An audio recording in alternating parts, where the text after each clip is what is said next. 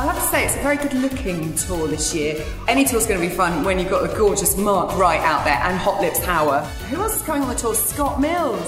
He's going to be a friend. I'm looking forward to being reunited with Joanne Clifton, my partner. Um, we still text every day, and we always start the text with "Hi, partner."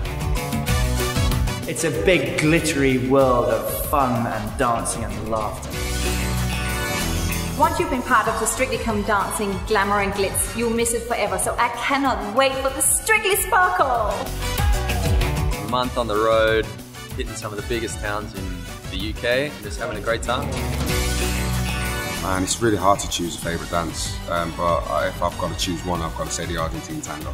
Fingers crossed, Simon and Kristina will do that Argentine tango. They have to do that on the road. You need to see that really close up.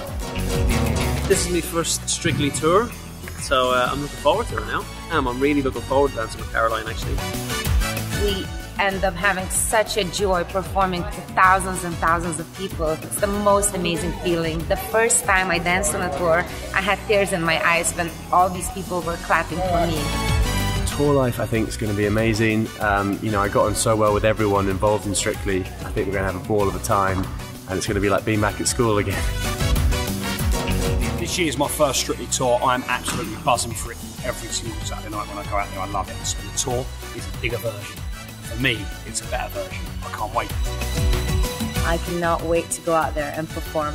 It's just about having fun and enjoying every second of it.